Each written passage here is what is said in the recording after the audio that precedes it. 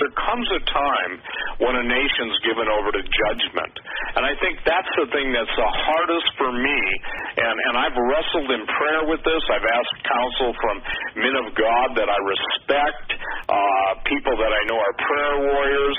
Uh, and, and I've asked myself, maybe you have too. And I say it this way in my prayer life I say, Lord, I want to be faithful, but does there come a time when they will no longer endure good, sound doctrine? Do they even care? Do they even want to know? Lord, have they made their decisions? Have they set their faces like flint? And, you know, I, I, I still wrestle with that every day, okay? I truly do. Because, again, I do what I do, contrary to my critics, because I want people to live and not be murdered and slaughtered. You know, and this is the thing that's fascinating.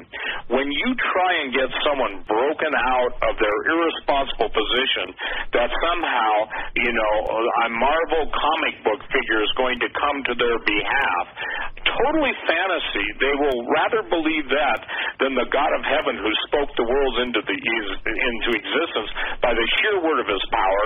Absolutely historically documented miracles of Jesus, Jesus resurrecting from the dead, and and yet they hated him without a cause, and the whole world lying in the evil one.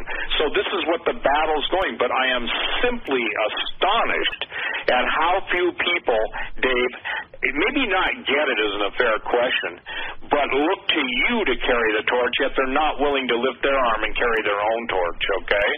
They want you to start something, and I'm talking in the exchange of ideas. They want they want this, they want that.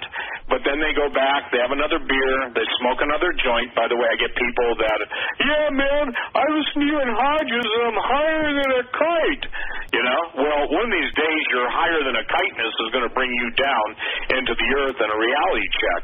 So now we're, we're just in a in a problem uh, that that I don't believe there are any natural answers for outside of being directed by God. You know, so that that's my position. I, I and I think we continue on. You continue on until the Lord tells you you're done. You know.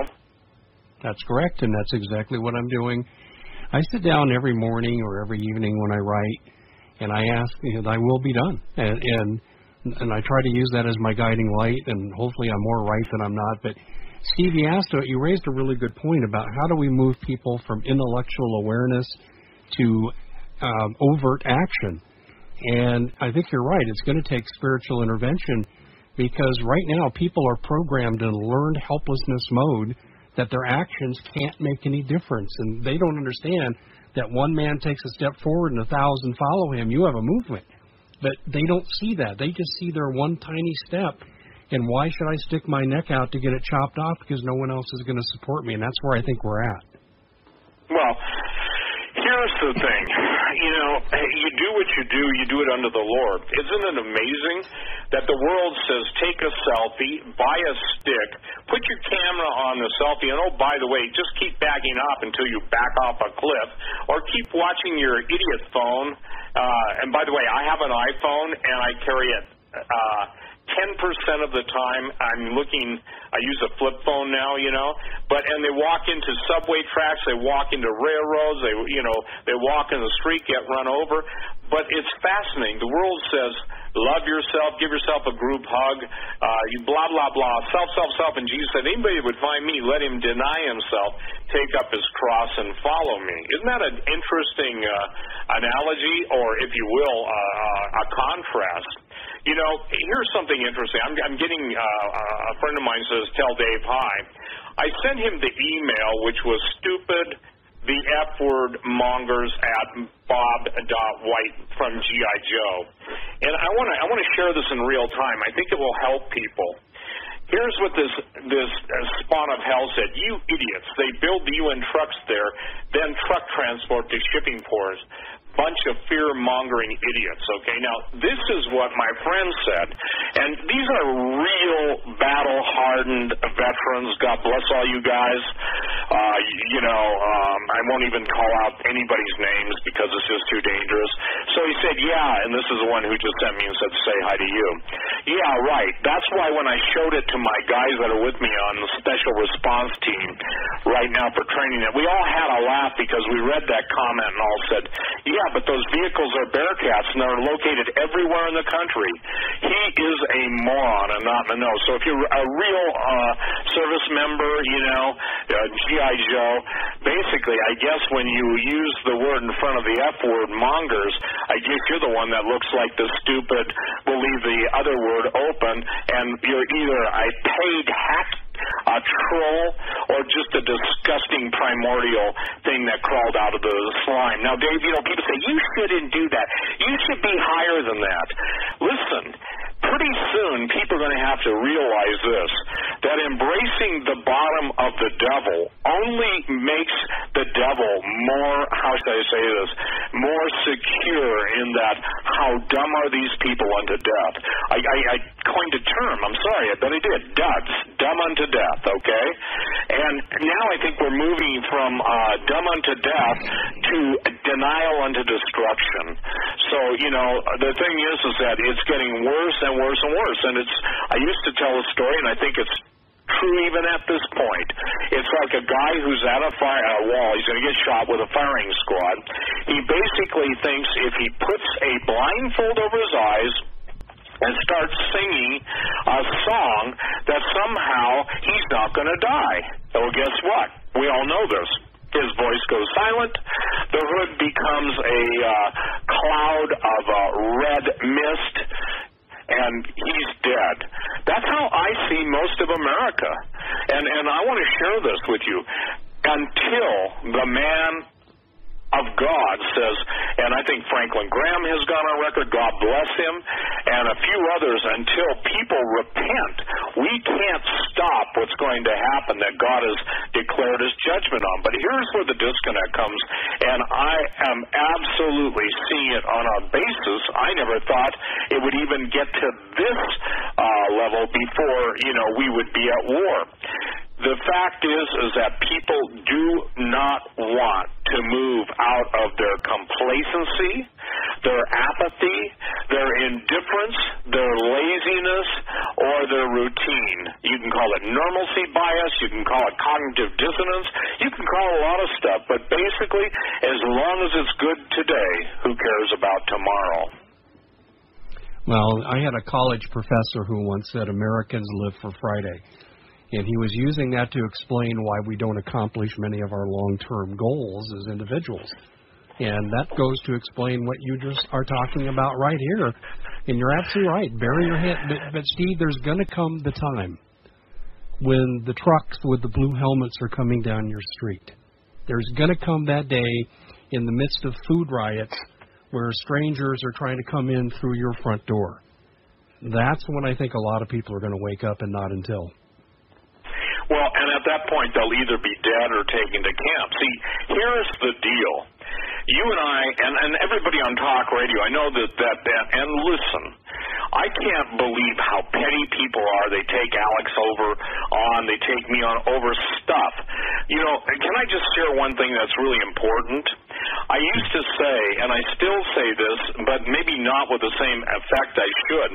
If you understand the Third Reich, and I believe I've got a really good handle on the Third Reich, if you understand they never lost World War II, and Dave, you and I did a show on that, if you understand that the, their richest industrialists and pharmaceutical giants, bankers and financiers, they didn't go uh, to the Geneva Convention, they didn't go to the Nuremberg war trials.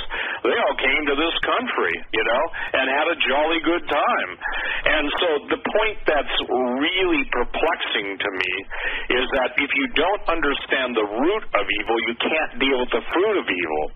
And it's it's the whole uh, genetic drift away from being created as unique individuals out of the loving uh, heart of God to absolutely establish a people. And by the way, uh, angels are more powerful than we are at this point. But the point comes in time where God said, You've made man a little lower than the angels. And then Paul said, But know ye not that you're going to judge angels? That doesn't mean sentence angels, although it may mean uh, uh, being on the jury with fallen angels. But the whole point is, is this human creation, God made the most amazing entities in the universe. That's us. And when we fell, instead of just saying, move aside, Moses, because he did, I'm going to wipe them all out. And Moses, thank God, he was there saying, God, you can't do that because of your word. I tell people, if I'd been Moses, I'd say, let's do it. I'm sorry, but that's and that's not right. Okay, God obviously didn't put me in that spot, but it's uh, we're at a point now, Dave, where the spiritual realm, we put up with the physical realm of evil, or we sit and watch the YouTube videos, or we watch the horrors of little children having their hearts ripped up. And I got to tell you something, even even the picture of all those canine dogs uh, butchered, you know, basically euthanized, you know, and and the company in America that got paid nine thousand nine hundred bucks a month for each dog. I started weeping when I saw those German shepherds, you know, and and I I, I think I put the article up where Saint Francis said he uh, Saint Francis of Assisi said he who would be cruel to animals will be equally cruel to humans. And and when you understand that Iran just basically is arresting dog owners and and destroying their dogs and stuff, and you hear the heroics of these dogs and you see their pictures with medals and you talk to the guys that were canine handlers, there's a love relationship. There's a supernatural relationship where that dog will will lay down its life and do anything to save its master's life. And and I'll tell you what, I understand why Michael Savage got so furious when the government took those dogs away. So what does that have to do with what we're talking tonight? These entities do not value human life. They hate human life. They're absolutely entrenched in this country. And you know, people say, well, why why is the Air Force only able to field 50% of its aircraft? Why are the Marines having such a problem? Why is the Navy's top ship shutting down? Why are you know the why is the USS Stennis, uh, an aircraft carrier, being targeted? Which, by the way, the Navy denied, okay? Obviously, when a lock-on system goes into effect, whether you're in a fighter, uh, an aircraft carrier, a destroyer, obviously there's an electronic signal set, and those type of things are saying, and, and China just flat out said, we're not afraid of you. The day of aircraft carriers projecting force is, is basically done away with by one hypersonic nuclear missile. One hypersonic nuclear missile, or a hypersonic nuclear torpedo. Or, if you want, you flip a switch with your electronic technology and things go bad. So, what I'm saying is this the military has been emasculated, and for the record, I've never been in the military. The military, and I have pledged the last 20 years of my life on talk radio to helping vets, okay? And not just with my words or being a cheerleader. And without going into detail, I walk the walk in that realm. I, I even split up with friends who, who basically wouldn't make good on their commitment to help this brother, that brother. You know, can I help them all? No, but at least I made the effort to help whatever I could and whoever I could. Still would do it today.